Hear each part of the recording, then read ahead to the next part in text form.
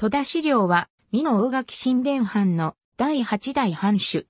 後美濃の村藩主。大垣藩戸田家、文家八代。天保10年5月28日、美濃大垣藩の第九代藩主、戸田市政の次男として生まれる。大垣神殿藩の第七代藩主、戸田市水の養子となり、安政2年5月21日、市水の死去により、家督を継いだ。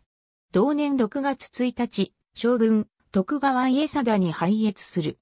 同年12月16日、受護位した淡路守に、女位、任官される。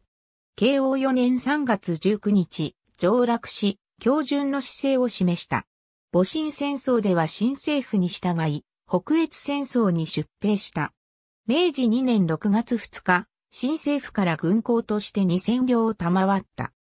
しかし、大垣神殿藩は特定の領地を持たない神殿藩の形態を取り、なおかつ藩の運営を本家に任せていたため、実体のない藩として、明治2年の藩籍法官で、藩主資料は藩知事に任命されなかった。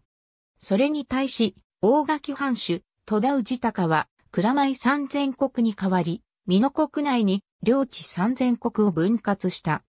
それに伴い、明治2年5月27日、陣屋を三河厚見郡畑が村から美濃大野郡野村に移し、名称を大垣神殿藩から野村藩に改めた。